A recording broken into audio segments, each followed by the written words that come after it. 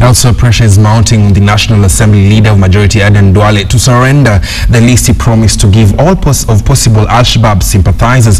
Kiambu Governor William Kabogo wants the govern government to take immediate action on Duale if he does not release the names.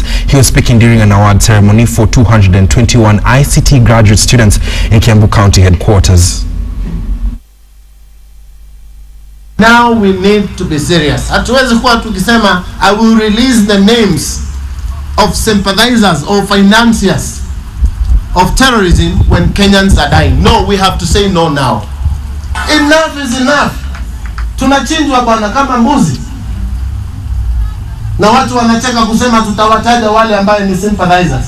Say it now or shut up forever and we will deal with you. This is the end of this problem.